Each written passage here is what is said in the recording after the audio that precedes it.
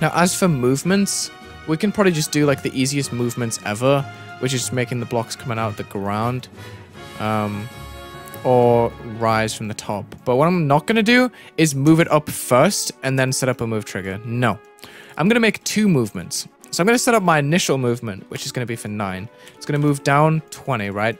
And it's going to be an exponential in-out of about 1.2, just to give it a nice amount of time to drop. Before this is ever done, this is going to be increased by 20. Off the camera and just away. Doesn't even have to have an easing. I don't know if it impacts lag or anything. I'm assuming it doesn't. Um, so the, in the editor, we can still tell exactly where this object is, right?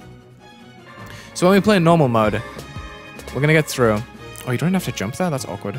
This block is above, and then we play, and it moves down, and it's just a nice satisfying movement.